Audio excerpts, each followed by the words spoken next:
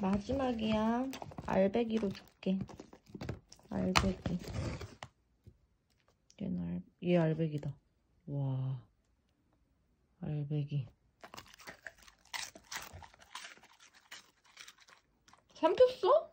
너 그게 마지막이야. 이제 끝?